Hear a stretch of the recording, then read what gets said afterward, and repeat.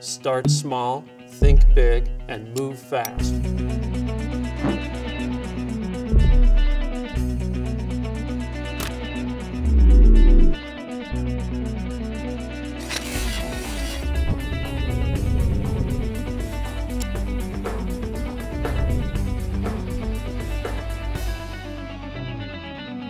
We are faced with a rapidly changing external environment in healthcare. We partnered with the Center for Humanities at ASU, but that rapidly led towards a deeper collaboration, and we are moving boldly into the future, saying how can we address some of the most challenging problems that we face in healthcare in the United States today.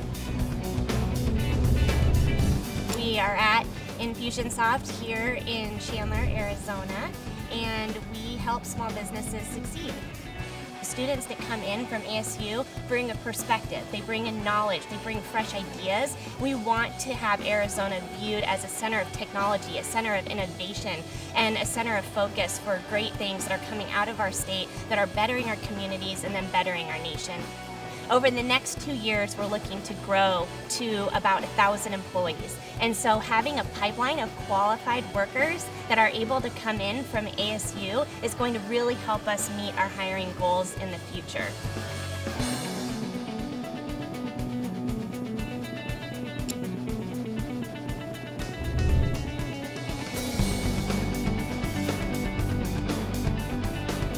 We're looking for people who know how to push the envelope, who can be creative, who can think up original ideas and problem solve and work together in teams all across the globe.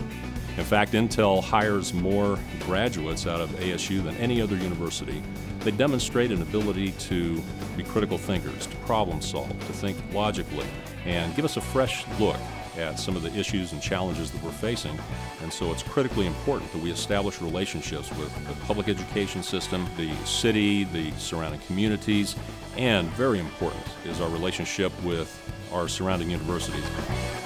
The team at ASU is extremely forward thinking, proactive, and true leaders within our community. The impact of advancing entrepreneurship in our state is significant to advancing Arizona's prosperity.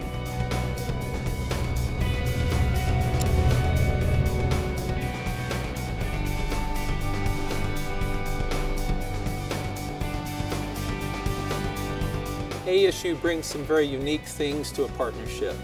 They're inspiring entrepreneurs and students like myself to create our own companies.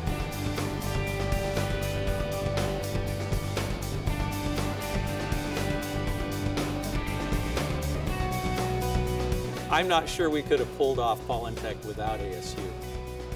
We've invented a process to mechanically pollinate crops as a supplement or as a replacement for bees. We've just got our field test results back and we got a 6.5% crop yield increase, which in agriculture is absolutely phenomenal. It's just another reason why we love ASU because ASU is committed to innovation, committed to research, and committed to entrepreneurship.